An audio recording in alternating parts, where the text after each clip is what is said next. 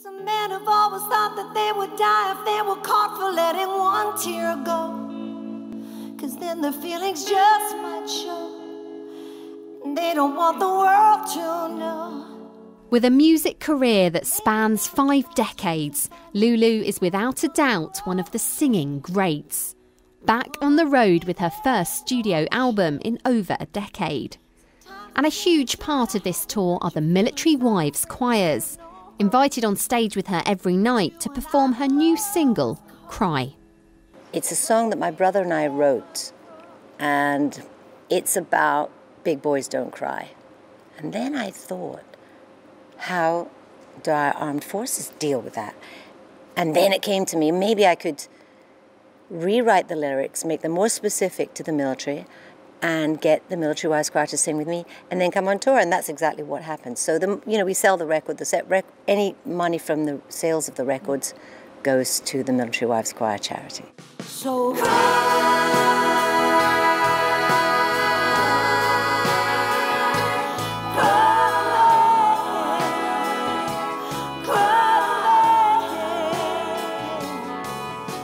In Perth, it was the turn of the Edinburgh Military Wives Choir to take to the stage in front of an audience of 1,200. They were one of the early choirs, set up in 2012 when Gareth Malone's BBC show was at its height.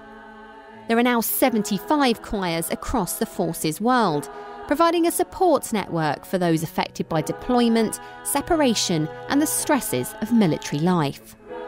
It's a nice place that you can be open and friendly, and you know no one's going to judge you here. And it's just a nice way, as a bit of an escape from normal life, to just come in, meet the ladies, and just have a, a bit of a chat, and as well as having enjoying singing.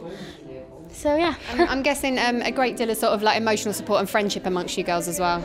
Absolutely. So um, last eight months has been quite hard for me. My husband's been away, and uh, these girls they they get it. They get that you know you might find a song quite hard to sing, or you might spontaneously cry.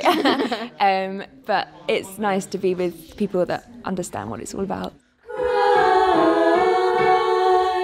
35 different choirs have been rehearsing for Lulu's tour across the UK, raising money for the Military Wives Choir Foundation charity. It will be the biggest performance they've ever done.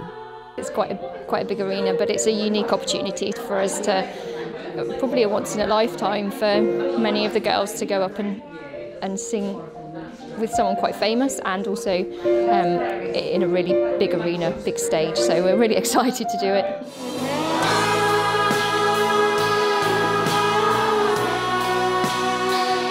Perth Concert Hall was sold out for this event with some of Lulu's biggest fans. Fans with a newfound knowledge and respect for the military wives' choirs and the support they provide for their families. It's very moving on the stage. Um, and the audience is just, they give them a standing ovation every night. Um, some of the women get tearful. I, you know, I basically just just bathe in their glory. And uh, then when we come off, we all scream with laughter. so it has, you know, plays with both sides of two sides of our emotions. You know. She was just so nice and she was so funny as well. Because when we were on stage, because during the song we have to keep quite serious faces because obviously it's quite a somber song. And then afterwards, when the song was over, she came over to us. You can actually smile and you can laugh, and it was just she's just so down to earth and she's so nice. How does this rate in terms of you know experiences that you've had in your life? Where where is this one set? Pretty high up there. I mean, I suppose I better say my my wedding day was, you know, uh, but no, it's amazing. I've never performed in front of that many people. You know, I'm not really a singer. I joined the military choir for kind of something to do, and my husband was was, was away. So, um, yeah, amazing. Lulu's tour continues until the 22nd of April, with even more choirs taking to the stage. And her charity single Cry is available to download now. Ali Gibson, Forces News, Perth.